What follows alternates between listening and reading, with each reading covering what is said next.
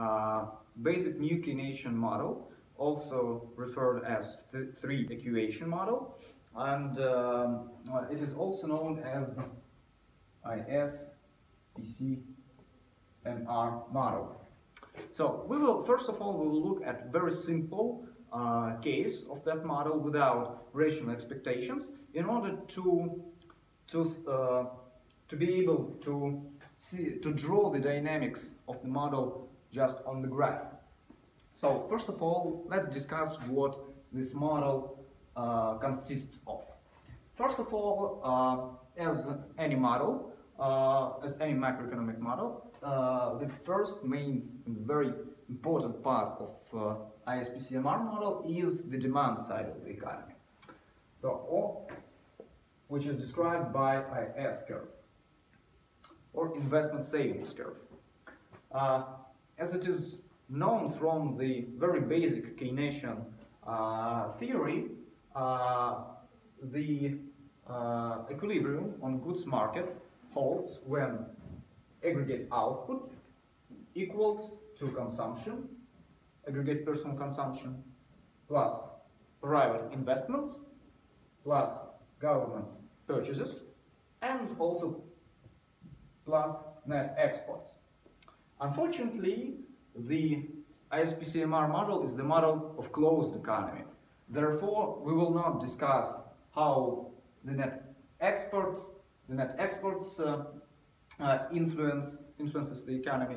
Therefore, we just will subtract that variable, whether uh, even though it is very important, but anyway, it is the, uh, we, will, we will look at the closed economy case. Uh, so this is the condition of uh, equilibrium at goods market, uh, which states that the expected aggregate expenditures of uh, every economic agents, private, uh, private agents, firms, uh, households and also government must be equal to the real and actual output. Uh, anyway, uh, it is also known as the main macroeconomic identity. Uh, it, it, must hold every time, and we will also assume that goods market in our model also is also is always in equilibrium. then we will specify the IS curve analytically by in very simple uh, in a very simple way. We will say that aggregate output in time t equals some autonomous component, let's call it A minus parameter B multiplied by R t minus 1. R is the real interest rate and the reason why output depends negatively on interest rates on interest rate is quite natural we can imagine several examples why it is so. The first one is that uh, the real interest rate is uh, the cost of borrowing for firms that decides uh, how much investments to implement each period. Uh, therefore, uh, when the price of rental capital goes up, then the demand for this capital must go must go down, causing the investments the aggregate investments decline and therefore causing the aggregate, uh, the, the, aggregate demand and finally output also to decline. Um, another reason is uh, can be uh, can come from from uh, uh, the Tobin's Q theory, yes, which states that uh, then when interest rates are high, then the market value of the firm is low, causing the investments also to decline and the aggregate output also to decline in the same way. Uh, another important, second important thing with this equation is that is timing. We assume that aggregate output does not react on uh, some changes in real interest rate contemporaneously. Uh, actually, it's, it's also quite natural because uh, who, uh, who controls uh, the real interest rate is the central bank. And through implementing monetary policy, setting interest rates, uh, the central bank can affect the economy only with uh, some delay in time. Therefore, there is there, uh, there is some lag in uh, in the in the in the final result of the uh, of, of, of how the monetary of, of when monetary policy finally affects uh, the aggregate output. And uh, in this simple example, we assume that that delay uh, is equal to the one time period or to one lag. So just uh, let's also use graph.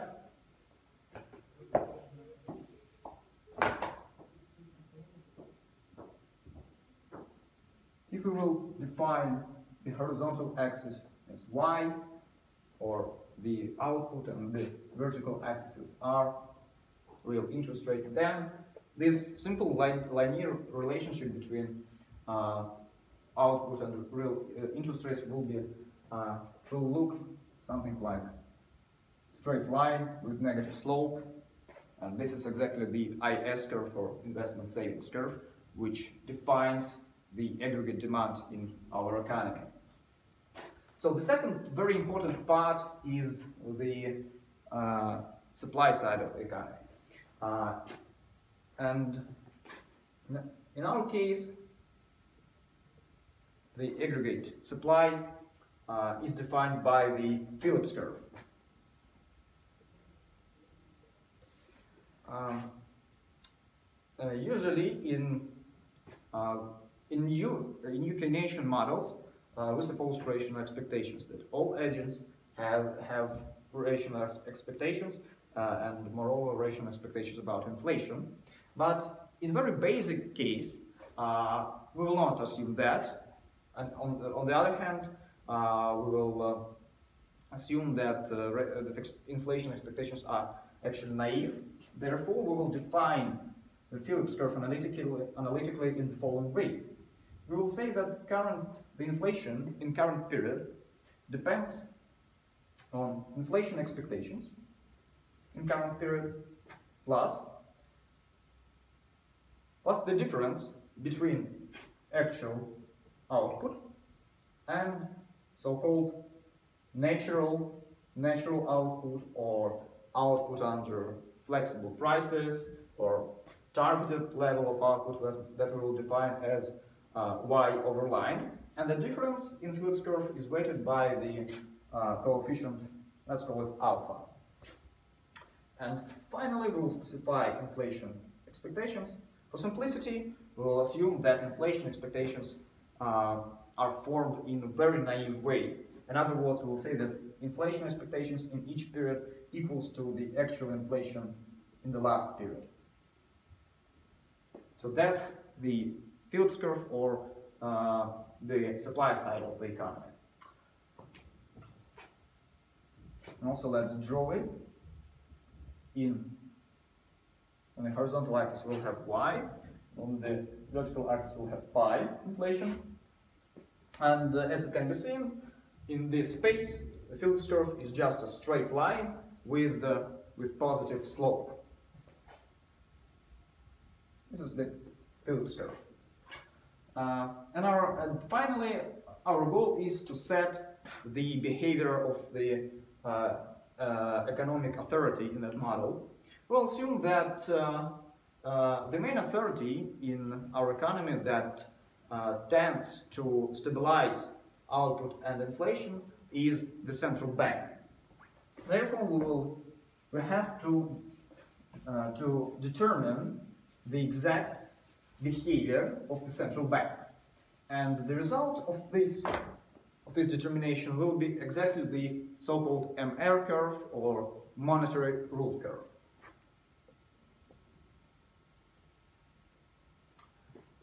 Uh, where does it come from? Uh, let's say that our central bank is, uh, is rational agent uh, who uh, has uh, two aims. The first aim is to stabilize the volatility or stabilize the output around its uh, natural or flexi, flexi price level. And the second is to stabilize the inflation under or around uh, some targeted level, which is uh, very natural nowadays due to the popularity of inflation targeting regime. Therefore, first of all, we'll define the loss function of the central bank. We'll say that loss function equals, first of all, the quadratic deviation of output from its natural or flexi price level. Uh, that's yt minus y over line squared plus the same quadratic deviation of inflation uh, from its targeted level pi star. It's quadratic, quadratic. And we will say that uh, uh, uh, the central bank weights that deviation of inflation with coefficient, with exogenous coefficient beta.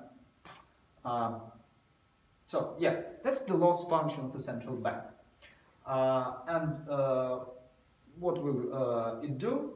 It will, it, it, will try to minimize his, its losses with, with respect to some constraint.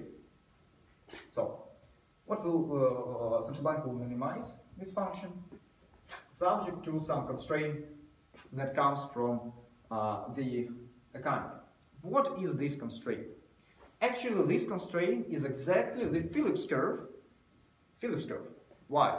Because Phillips curve shows uh, each possible combinations, combinations of output and inflation uh, for given level of inflation expectations. Uh, therefore, in the economy, actually, uh, there, there are there is a, a, a, number a number of different Phillips curve with positive slope, but every uh, but, but uh, for different levels of inflation expectations. So, and actually, the, each Phillips curve uh, behaves as a constraint for the central bank because uh, each time he uh, can achieve only a particular number of combinations of output and inflation with uh, respect to a given level of inflation expectations, as I said. So therefore, our central bank will minimize its loss function with respect to Phillips curve. In other words, just stated like that.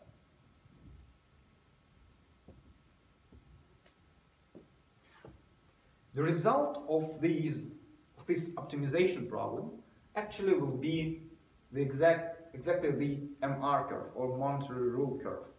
If we will minimize this function, write down the first order condition, we will receive the following expression. yt minus y overline equals to minus alpha multiplied by beta multiplied by pi t minus pi star. This is exactly the expression for monetary rule curve.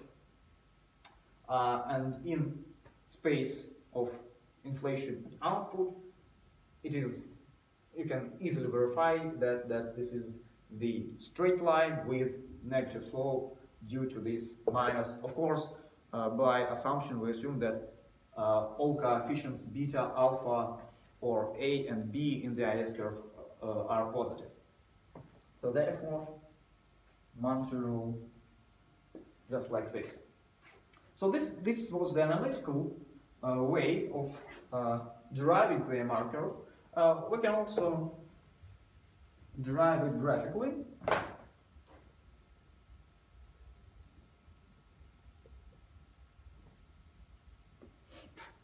Uh, to do this, let's uh, think about the indifference curves of the central bank if uh, it has the following loss function.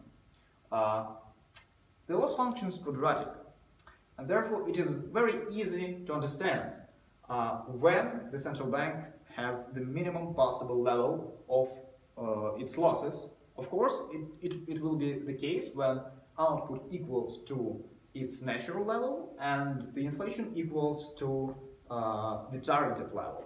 Therefore, if output equals y over line and inflation equals pi star. This will be the most desired uh, desired point or state of the economy that central bank tries to achieve by implementing monetary policy. And this point also is known as bliss point. Uh, uh, in, ca uh, in, cases when uh, the economy uh, uh, is not in that state, in the bliss point, then the indifference curves due to the, to the quadratic form of the loss function of the central bank will look like, like circles. Of course, under assumption that beta equals 1. If it is true, then indifference curve of the central bank will look like that. And of course, the uh, utility of the central bank, let's call it utility, rises with that direction. The problem is that um, the, uh, this point of uh, pi star and y overline cannot always be achieved, can always be achieved.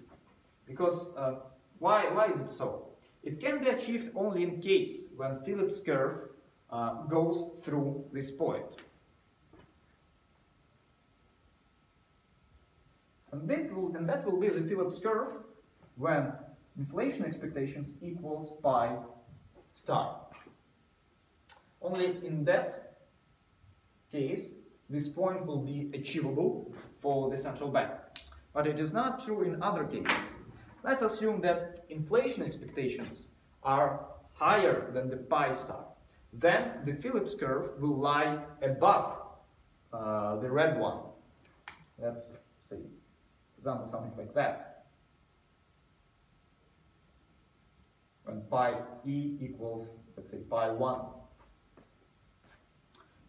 If it is true, then the best point for the central bank will be the point which uh, which is tangent uh, which is tangent to the uh, to the specific indifference curve. Uh, in this particular case, that point will, will be like that. The same is true for any other level of inflation expectations. If we will draw Phillips curve like this, let's call it by PC2, that, PC3, then we can we can uh, we can uh, write each each uh, best point that the central bank will choose under different levels of inflation expectations. And if we will uh, if we will um, uh, will unite all these points in one straight line, will receive exactly the monetary rule curve or MR curve, which is in that case is derived uh, graphically. Uh, so another very important point to say is to understand how exactly the central bank defines, implements monetary policy so far, we didn't say anything about the, the interest rate. Actually, the central bank sets the interest rate for any uh, desirable uh, level of output. Just for example, let's say, just on this graph, that uh, this is the equilibrium, or not equilibrium, this is the bliss point, let's say pi star and y over line. But what if the economy, what infl inflation expectations are high?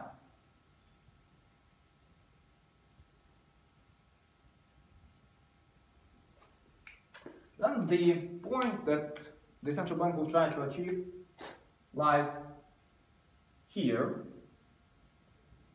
with higher inflation than the pi star and with lower uh, with lower level of output.